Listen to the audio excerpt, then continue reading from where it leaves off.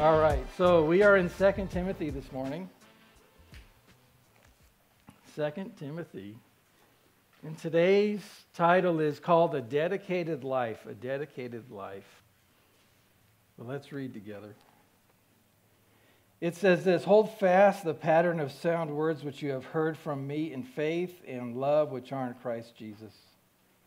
That good thing which was committed to you, keep by the Holy Spirit who dwells in us. This you know that all those in Asia who have turned away from me, among whom are Phygelus and Hermogenes, the Lord grant mercy to the household of Onesiphorus, for he often refreshed me and was not ashamed of my chain. But when he arrived in Rome, he sought me out very zealously and found me. The Lord grant to him that he may find from the Lord in that day, that he may find mercy from the Lord in that day, excuse me and you know very well how many ways he ministered to me at Ephesus. So, Father in heaven, we thank you again for this word. May I step into the background. May your Holy Spirit take over and encourage all of us. In Jesus Christ, we pray. Amen and amen. A dedicated life. So, the first thing Paul writes to Timothy is to hold fast. To hold fast the pattern of sound words. One source that I found, hold fast, has nautical origins for sailors.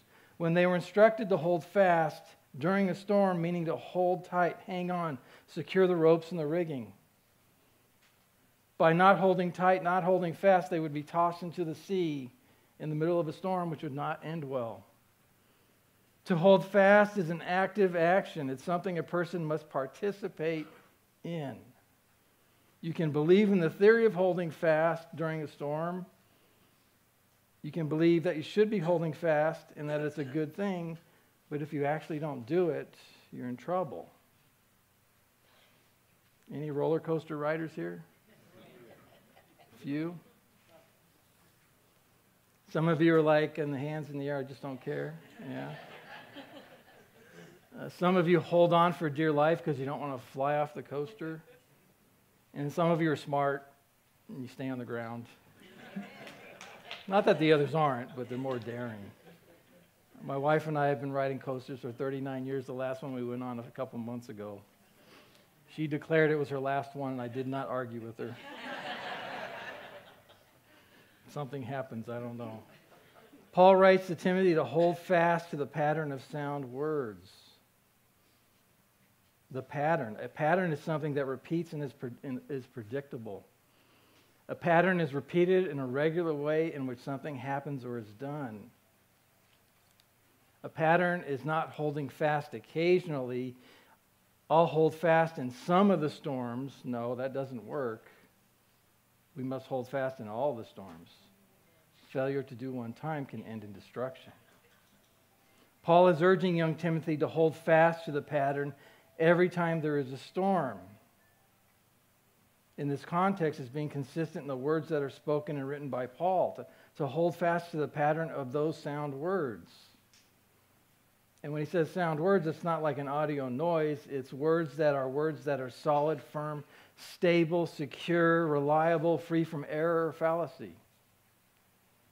Paul is urging Timothy to hold fast, hang on to the repeated and predictable words that he has heard from him in the context for today, to hold fast to the pattern of sound words is to continue to believe or adhere to an idea or principle, to stay the course, to firmly remain in the same position, to keep the same opinion of the words that you have heard. And these words, of course, that we're talking about are the Word of God. To hold fast to them. What do we know about the Word of God?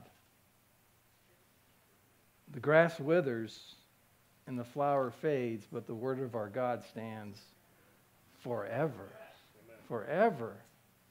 God's word is not a catchphrase like, or a bumper sticker or a fad. It's not like the phrase cool or rad or groovy or boss or hip. Some of you relate to those, and some of you are like, what? These phrases were, are what were popular in a season in our culture and eventually everything in the culture gets lost or unfortunately gets recycled sometimes, like bell bottoms. I don't know. Sorry. The bands I used to follow decades ago, I can see young people wearing the same t shirts I used to wear, and they think they've discovered something new. How cool I thought I was back then, and no, I was not. I've yet to be cool. Sorry. I smirk because there's nothing new under the sun. What's really sad is sometimes those bands get recycled two or three or four times, and I go, oh, how old I've gotten. God's word is not a fad. It, it's not something cool. It's not something rad. It is awesome, but that word can fail too. It gets used and overused sometimes. God's word is eternal, it lasts forever. God's word is inerrant. There are no mistakes, there are no fallacies, there are no mistakes at all. It does not contradict itself. If we think it contradicts itself, which I've thought in past years, it's because I lack understanding of what it's saying. And once I study it up, eventually God reveals, oh, here's your error, knucklehead. Okay, okay, good. There it is. Your word is still true. God's word is holy. It is to be received. It is precious. It's to be trusted. God's word shows us everything that pertains to life and godliness. Everything you need to know is in there. It shows us how to live correctly before Him. Uh, 2 Timothy 3:16 and 17 says all scripture is given by inspiration of God and is profitable for doctrine, for reproof, for correction, for instruction in righteousness that the man of God may be complete, thoroughly equipped for every good work. God spoke it into existence Man was privileged to write it down just like he spoke the planets into existence. It shows us what to believe, it convicts us, it shows us how to correct ourselves, it shows us how to walk rightly in front of God the Father. It trains us up so that we might be of service to him. God's word isn't there just to feel good. It's there to train us up that we would be service to him and to the to the world. When we adhere to his word, we become more godly. That simple. When we reject, discard, or deny his word, we become more disillusioned, distracted, discontent, depressed, and despondent. We've all been there probably. When we get away from his word, we're like, what's going on? The sky is falling. No, God is still in control. Uh, this week was the uh, elections.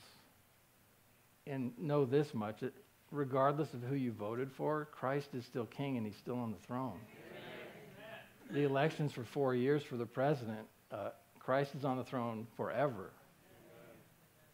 So, whatever energy you put into the election, please put it into the Lord instead this time. Paul writes, Hold fast the pattern of sound words which you have heard from me so, a question is what were these sound words that Paul shared with Timothy? We've been through the first book of Timothy. We just started the second book of Timothy. I'm going to go over some verses fairly quickly to remind us of the things we've seen in 1st and 2nd Timothy so far. And if you've not been, if you weren't there for the uh, sermons from Pastor Henry or Pastor Jim, you can go to YouTube, type in Calvary Chapel, Beaumont, California. You can see our channel. You can watch all those things again. If you need help, we'll help you. But here, here are those verses, some of them. There's too many to choose from. But as you listen to these verses, apply them to yourself and see if you are pursuing them properly. We need to pursue them properly.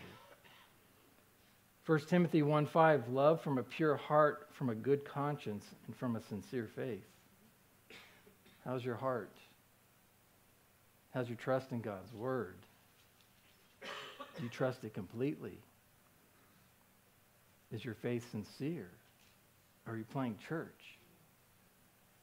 For all of us to think about, me included. Uh, chapter 1, verse 15 Christ Jesus came into the world to save sinners, of which I am one of. Praise the Lord. Amen. chapter 2, verse 3 and 4. For this is a good and acceptable in sight of our God and Savior who desires all men to be saved and to come to the knowledge of the truth. That's God's heart. He's not there hoping to throw people into hell. People are headed to hell. And God wants to rescue them, one by one by one. That's his heart. Chapter 2, verse 5 For there is one God and one mediator between God and all men, the man Christ Jesus. There's not multiple roads to heaven. Jesus and Him alone. I'm the way, the truth, and the life. No man comes to the Father but through me. He's the door. He's the sheep gate. He's all these great things. He's the bread of life. All these symbolic examples of who He is. It's Jesus Christ and Him alone. Uh, 1 Timothy 3:16 and without controversy great is the mystery of godliness God was manifested in the flesh justified in the spirit seen by angels preached among the Gentiles believed in the world and received up in glory there's Jesus' existence on earth right there in a verse if you can turn to Luke 24 Luke 24 it's to your left Matthew Mark Luke it's the third book of the New Testament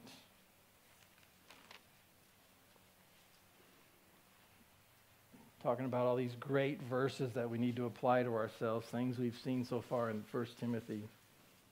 Some of the things we've seen. Give me an amen when you're there. In Luke 24, Jesus has just risen from the dead. He's walking along the road to Emmaus. And these two guys are walking along the road, and he joins them. Now, behold, two of them were traveling the same day to a village called Emmaus, which was seven miles from Jerusalem. That's a long walk and they talked together all of the things that had happened. So it was while they conversed and reasoned that Jesus himself drew near and went with them. But their eyes were restrained, so they did not know him. Here's Jesus walking with you, you don't recognize him. And Jesus said to them, What kind of conversation is this that you have with one another as you walk and are sad? Not that he didn't know the answer already, he was starting up a conversation with them. Then the one whose name was Cleophas answered and said to him, Are you the only stranger in Jerusalem, and have you not known the things which happened there in these days? And he said to them, What things? As if he didn't know. So they said to him, The things concerning Jesus of Nazareth, who was a prophet, mighty in deed and word before God and all the people. And how the chief priests and our rulers delivered him to be condemned to death and crucified him. But we were hoping that it, that it was he who was going to redeem Israel. Indeed, besides all this, today, in the third day since the things have happened, little did they know he is going to redeem Israel one day. Amen. And anyone who believes. Yes, and certain women of our company who arrived at the tomb early astonished us. When they did not find his body, they came saying that they had also seen a vision of angels who said he was alive. And certain of those who were with us went to the tomb and found it was just as the women had said, but him they did not see. Then he said to them, O foolish ones, O slow of heart to believe in all that the prophets have spoken. He's correcting them. Ought not the Christ to have to suffer these things and to enter into his glory?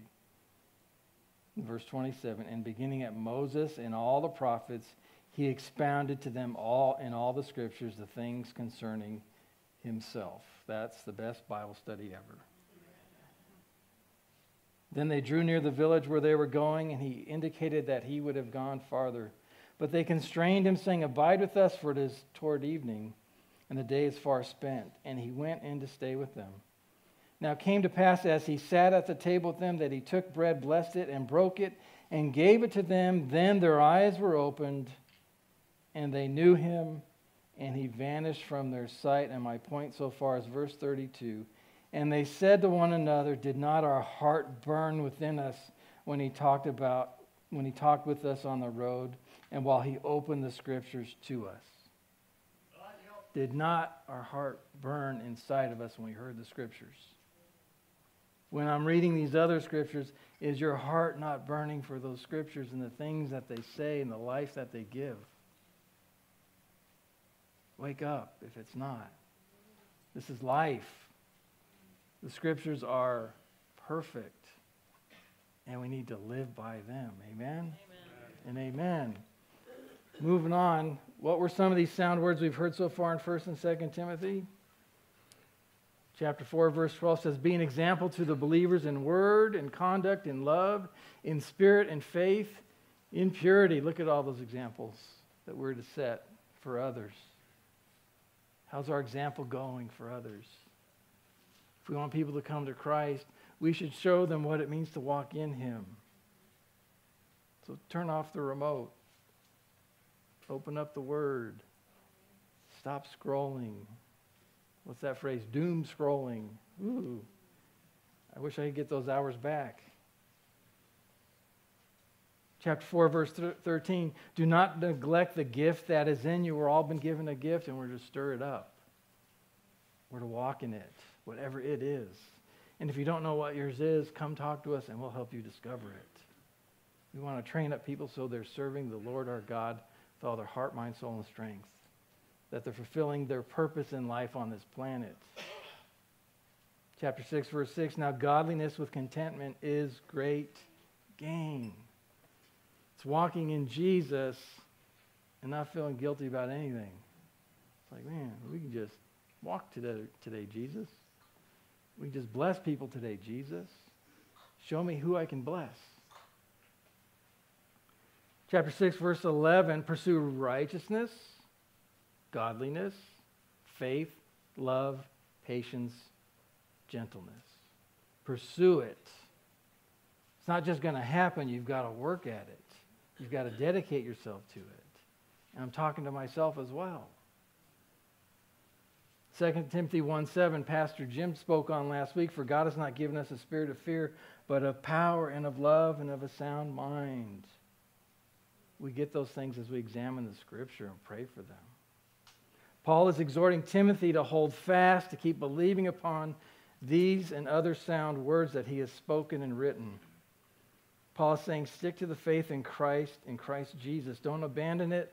Don't neglect it. Don't take it for granted. Pursue it with all of your being. This is life. So, point number one, I won't, don't want to shock you. Hold fast to God's word hold fast to God's word. It's got to be simple so I can understand it. Some people, I'm sure you've met them, they talk about Jesus, they think about Jesus, they pray to Jesus, they serve Jesus, they go out of their way to share Jesus, they look forward to the next time they come worship Jesus. And they're a little bit out there and a little bit crazy, but they're so blessed and they're so excited about Jesus. These folks are radical. Some might call them Jesus freaks, but that's a fad word, so I can't use it. These folks are holding fast to the pattern of sound words that they have heard. They heard the words and responded to fulfill what Paul has said about Jesus and what Jesus has said about everlasting life. They're radical. You know them, they're kind of different than the average Joe. They're on one end of the spectrum. And then there's the other end of the spectrum for those who believe. For others, church is optional. I'll go if my team's not playing. Reading is optional. There's a lot to watch. I got to take care of the yard, you know. Talking about Jesus is optional. I don't want to make someone feel uncomfortable. They might look down on me. Amen. Worship is optional. When are they going to play the songs I like? We get letters like that. Where's the ones I like? Oh, I'm sorry we're doing what honors God. Serving for these folks is optional. I worked a full week and I'm tired. Or I worked a lifetime and I'm retired. hmm. Show me retirement in the Bible. My retirement, I have my plan. It's all planned out. Very planned out. It's the rapture or redemption. So whichever one happens first, that's the retirement. Whenever he takes me, he takes me. How about you? Yes, you. Yes. There's some cringing going on. I get it. Where do you stand with holding fast to these sound words? Do you seek, inquire, observe, participate in the things of God, and not just occasionally, continually? Doing things for the Lord is not a holiday, it's a daily thing. Or is God merely optional for some when He's convenient for your lifestyle? Where do you stand on that spectrum, convenience or radical? And there's times we flow both ways, is it not? Sometimes we're all on fire, and sometimes we kind of drift a little bit. Oh, we got to get back over here. Turn to John 14 if you could. John 14.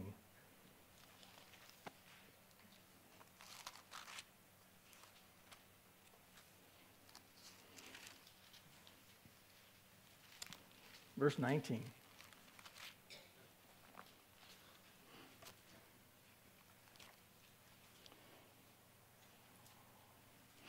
Give me an amen when you get there.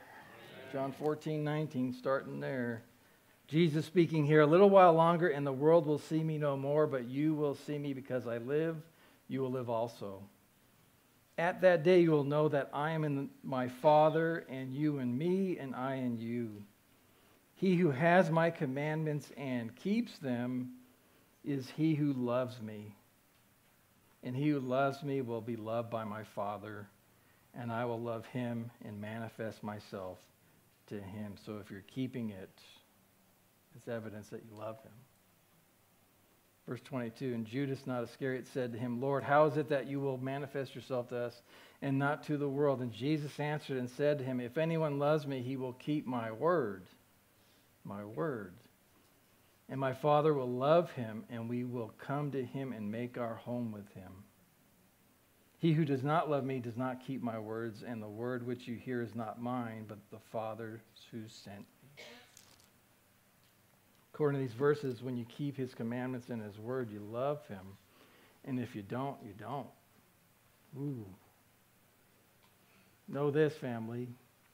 What your spouse does with Jesus, what your neighbor does with Jesus, what your coworker does with Jesus, does not matter to you in the sense of your attitude, faith, and belief in Jesus. What they decide to do is not on you. You can encourage them towards Christ. How they behave does not matter. What they follow does not matter. But they're not to be used as an excuse as to why you didn't hold fast to Jesus in the Word. Amen. It's on you. What matters is what you do with His Word. That's what matters. And if you're holding fast to his word, you're going to affect your spouse and your neighbor and your coworker and all those folks for the gospel's sake. So, what are you doing with his word? We must cling to his word and follow through in the understanding of his word. Why? So that we're not flung off into the world like off a roller coaster. If we're not holding tight. How do we do this? Well, it all starts with his word, of course. Psalm 119:11, Your word I have hidden in my heart I've hidden in my heart that I might not sin against you. A life that is disciplined to reading, memorizing, meditating, and praying over God's word is what we all need, not just today or once in a while, but continually. By continually digging into the scriptures, our hearts will be stirred up to desire the scriptures more and more. And soon it will be a passion to continually return to those scriptures and be stirred up again and again and again and then we'll be calling you Jesus freak. No, Point one was hold fast to God's word. Point number two, dedicate your life to Jesus. Straightforward. Dedicate your life to Jesus. Verse 14 from uh, 2 Timothy. That good thing which was committed to you, keep by the Holy Spirit who dwells in us. Paul writing to Timothy. The church in Ephesus was committed to Timothy, but Paul is exhorting him to keep the good thing that was committed to him. What was committed to Timothy? Besides the church, the gospel, God's truth, the truth of the word, the truth about salvation, the truth about eternal life. And what is that truth? This is from John 17. And this is eternal life, that they may know you, the only true God, and Jesus Christ, whom you have sent. That is eternal life that they may know you, the only true God, and Jesus Christ, whom you have sent.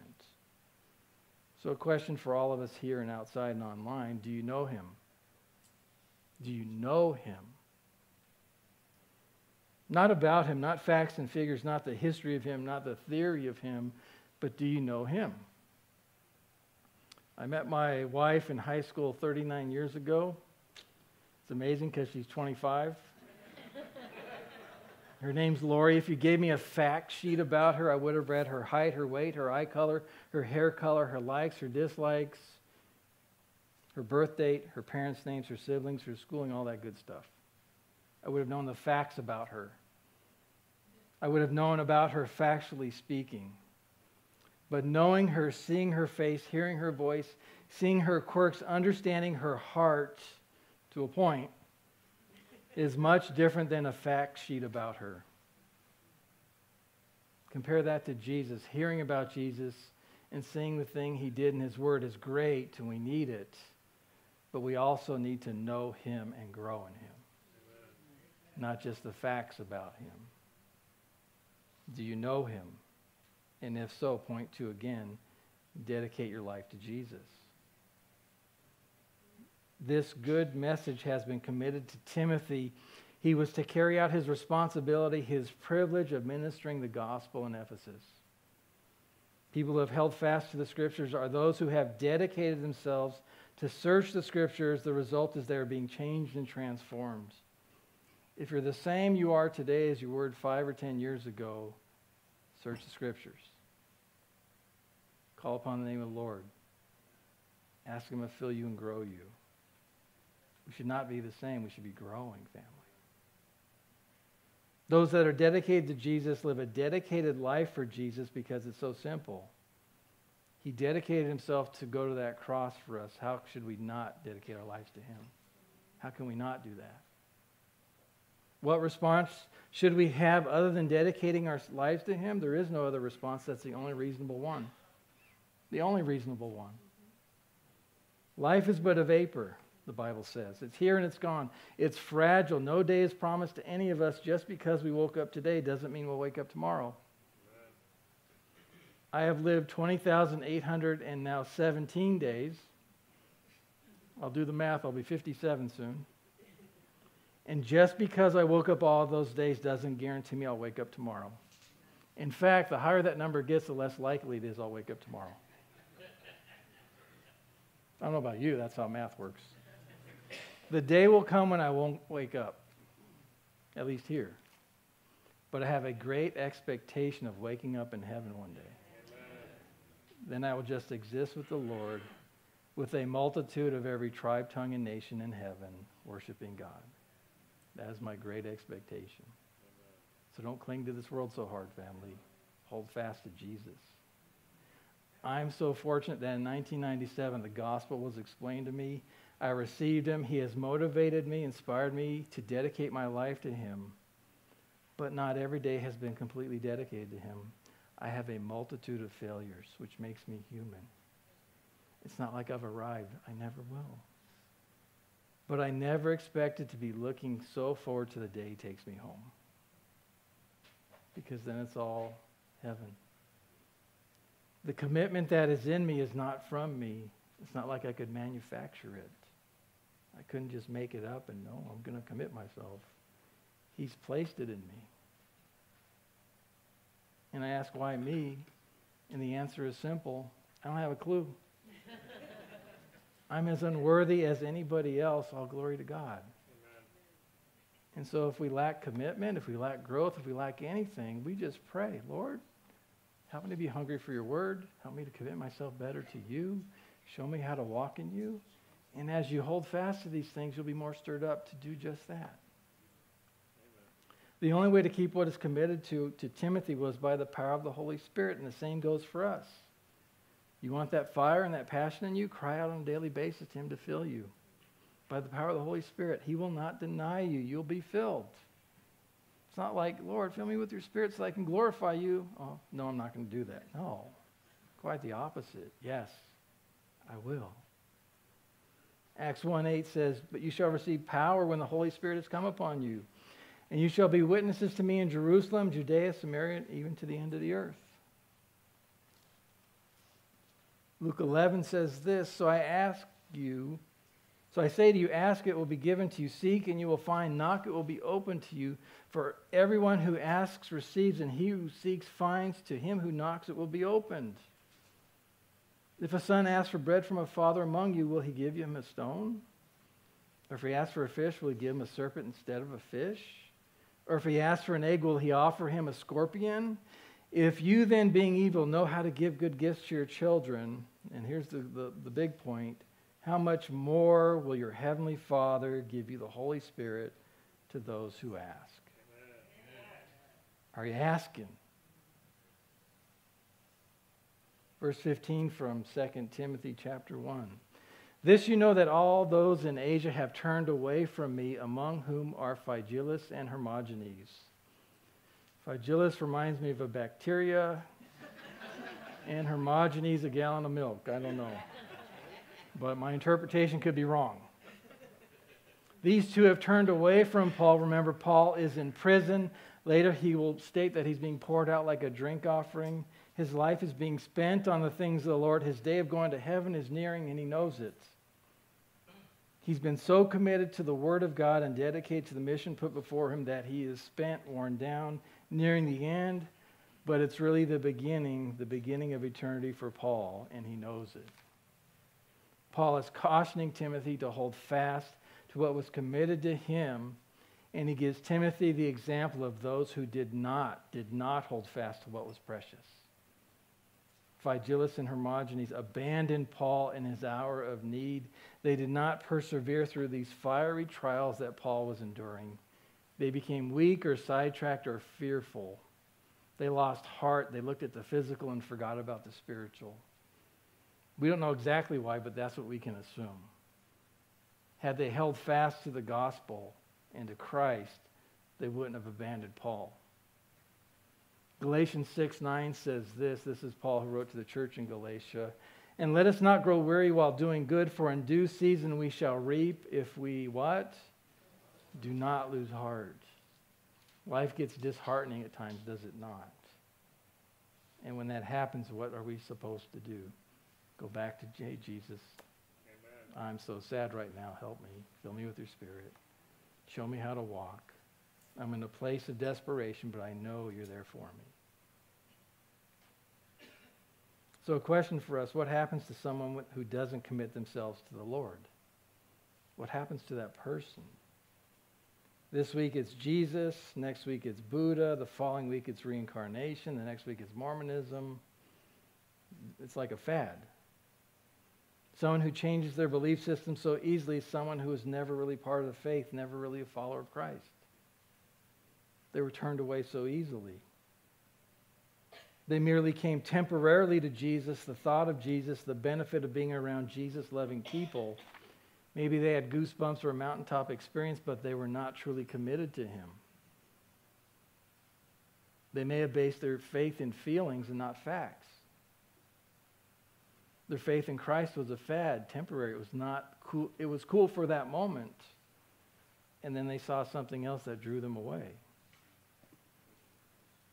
I hate to do this to you, but turn to Deuteronomy chapter 13. It's the fifth book in the Bible Genesis, Exodus, Leviticus, Numbers, and Deuteronomy chapter 13. You can give me an amen when you get there. Deuteronomy 13, verse 1. Verse 1. It says this If there arises among you a prophet or a dreamer of dreams, and he gives you a sign or a wonder, and the sign or wonder comes to pass on which he spoke to you, saying, Let us go after other gods, which you have not known, and let us serve them. So there's someone trying to draw people away to other gods. Verse 3 You shall not listen to the words of that prophet or that dreamer of dreams, for the Lord your God is testing you to know whether you love the Lord your God with all your heart, with all your soul. It's a test to see if you really love him. You shall walk after the Lord your God and fear him and keep his commandments and obey his voice, and you shall serve him and hold fast to Him. There's that hold fast part again. Cling to Him, family. Don't let your God be sports or media or TV or soap operas or hiking. Some of those things are cool, but they're fad. They're fun to do, at some of them. I don't know. But hold fast to Him. Amen. Recreational things are fine, but don't let them take the place of Him. Verse 5 But that prophet or that dreamer of dreams shall be put to death because he has spoken in order to turn you away from the Lord your God, who brought you out of the land of Egypt and redeemed you from the house of bondage to entice you away from the way in which the Lord your God commanded you to walk. You shall put that evil from oh, you shall put away the evil from your midst. It was so serious they're to kill that person because they're going to draw you into oblivion.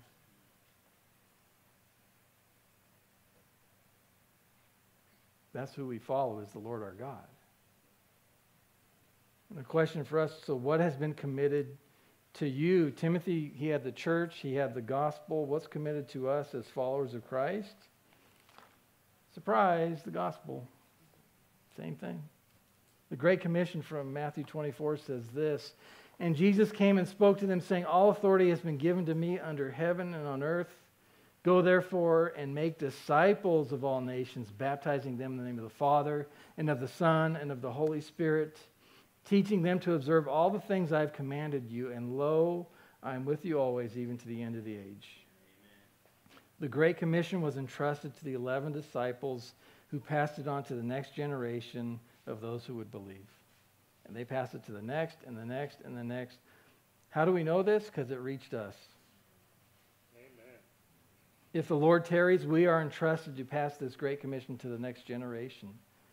You know, the Calvary movement would say, Maranatha, come Lord Jesus, right? It's a cool phrase but he may not come in our lifetime. So the next generation needs to be ready. The days are evil and wicked, are they not? The young people need Jesus. We are to be busy about our Father's business, are we not, family? We are to make disciples, to baptize, to teach them to observe everything Jesus has said to us. In order to make someone a disciple, there's a prerequisite is that they need to be a believer in him which in turn requires the gospel, the good news. Amen? Good. I'm glad you're agreeing. what is that good news? Jesus came, died, paid for our sins, rose again, ascended to heaven. He paid a price we could not pay because we can't live a perfect life. We were destined for hell, but God, by His grace, sent His Son to take our place. We're to hold fast to the gospel, the good news. As a father, as a proud papa, showing people pictures, photographs of my babies. As a grandpa now, I use my phone and I want to share the good news of that bundle of joy who now walks and tires me out crazily. and it's good news because she's perfect. And when there's good news, we want to share that good news with others, do we not? If the gospel is good news, we should be excited to share it. I'm going to give you a few statistics, stats about Christians sharing their faith. About half of Christians say they're prepared and willing to share the gospel. Half. 42% say that sharing their faith with a non believer is scary. In 1993, 89% of Christians who shared their faith agree that every Christian has the responsibility to do so. So 89% said, yes, we're supposed to. Today, only 64% agree. This one makes me sad. Evangelical Christians, only about 5% of evangelical Christians share their faith directly. I think that's from Barna. If the news is good, should we not share it? Here's my grandbaby. Here's the good news about Jesus. We're to hold fast to the gospel. We're to dedicate our lives to Jesus. A hard question is when was the last time you shared Christ with someone? When was the last time you shared Christ with someone? Maybe you just don't know how.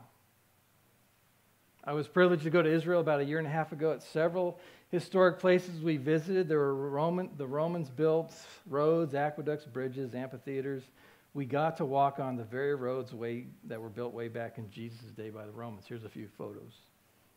There's one. That's a road that's 2,000 years old, basically. And next, some ruins and some roads. And next, these things last two millennia.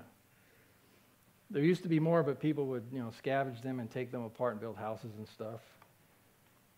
But you see, these roads are strong and fortified and usable in some places currently, 2,000 years later.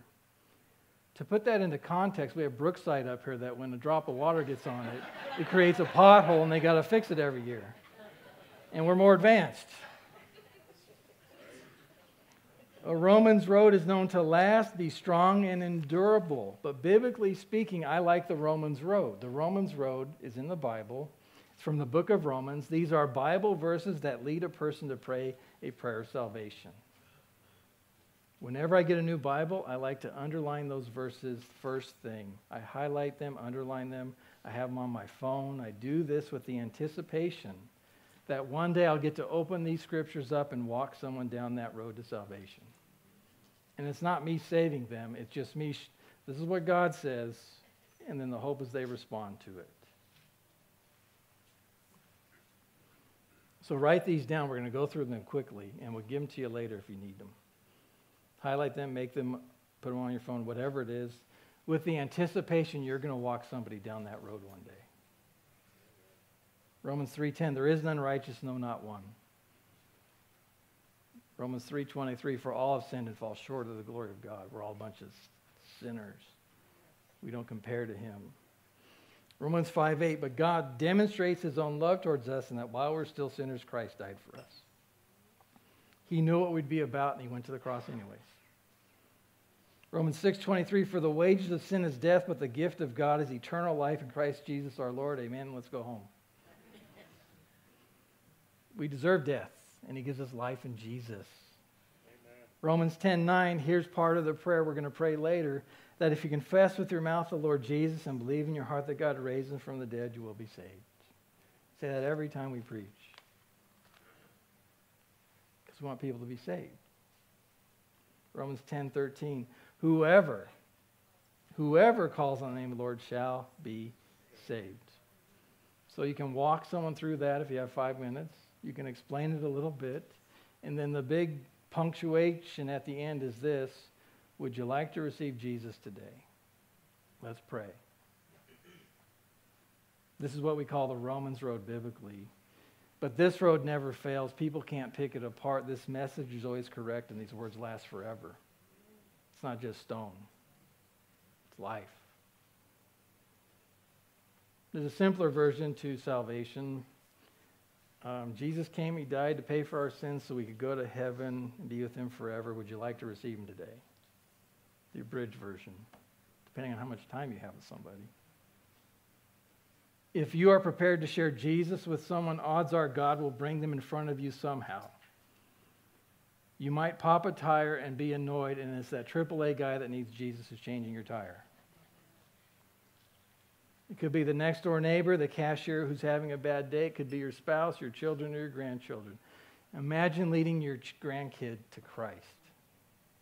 I can't wait. We're already reading stuff about Jesus to her, which is awesome. If you hold fast to God's word and dedicate your life to Jesus, He's not going to deny you the privilege of leading somebody to Christ Amen. or somebody's. Like, that's scary. So, just open la boca.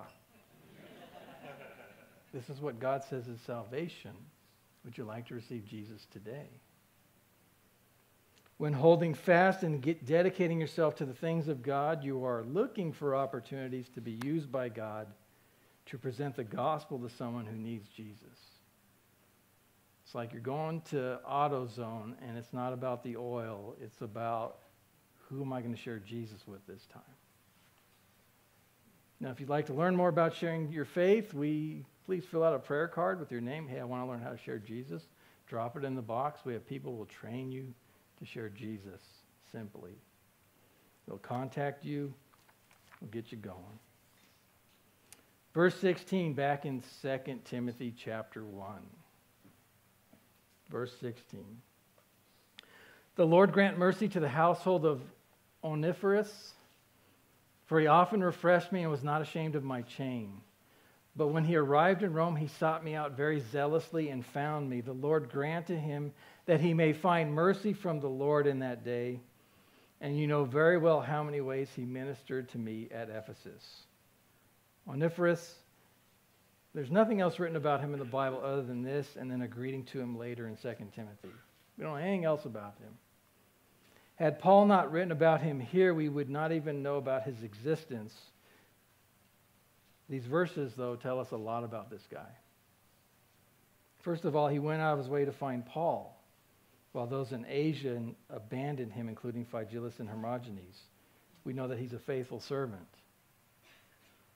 We know that he refreshed Paul even when he was in prison. He had a heart for ministry. He was not ashamed of Paul, who was in a dire situation. He was focused on the things of the Lord and on the circumstances that Paul was in. Point number three be focused on the things of the Lord.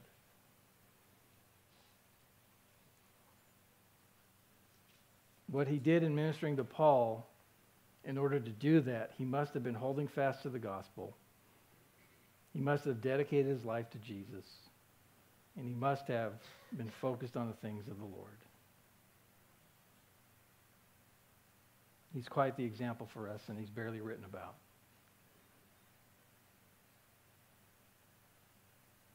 Know this about holding fast and dedicating your life to Jesus. Not everything you do will be noticed by others on this planet. Good. But God notices. And I don't know where everybody's at with Christ right now. Get right with Christ right now. Amen. amen. And amen. This is from Hebrews 11. But without faith, as the worship team comes up, but without faith it is impossible to please him, for he who comes to God must believe that he is and that he is a rewarder of those who diligently seek him. So please, diligently seek him. And a few take home points today. I'm not going to surprise you. The first one is hold fast to God's word. I think we heard that earlier. Dedicate your life to Jesus. Oh, you got me. And be focused on the things of the Lord. Amen? amen. And amen. And Galatians again says, Let us not grow weary while doing good. For in due season we shall reap if we do not lose heart. Amen? We're going to pray. It may be an extended prayer, but that's okay. If you don't know Christ, this is your opportunity to come to faith in Jesus right now, whether you're here or online. And if you've been away from Christ, it's your opportunity to rededicate yourself to Him right now. Today is the day the Lord has made. Let us rejoice and be glad in it. So let us pray, family. So if you want to receive Jesus right now, we've gone through the Romans road. You heard it, you saw it. That if you confess with your mouth the Lord Jesus and believe in your heart that God raised him from the dead, you shall be saved. And today is that moment. And I don't know who you are, but you know who you are and you know where you stand. But let's pray. So, Father in heaven, I confess right now that Jesus, you are my Lord. I ask you to forgive me of my sins. I believe in my heart that Jesus, you were raised from the dead on the third day, that you had gone to the cross for my sin that I might be forgiven. I ask you to save me today, to fill me with your spirit, that I'd be a follower of yours. And I pray this in Jesus' name. Amen. And Father, for the church family, Father, for those who have drifted from you, may they return to you. For those who are on fire for you, may they be encouraging others to do just that, to seek after you, to know you and know you well. Father, forgive us in the times that we're lazy or distracted, the times that we forget about you. We're so grateful for your word and for this day, for the reminder of, of why you came and what you've done. We praise you today because you're worthy of all of our praise. Thank you for this time together as a church body. May you be glorified through our lives. Help us to be dedicated to the mission you put before us. We love you. We praise you in the mighty name of Jesus. Amen, amen. and amen. And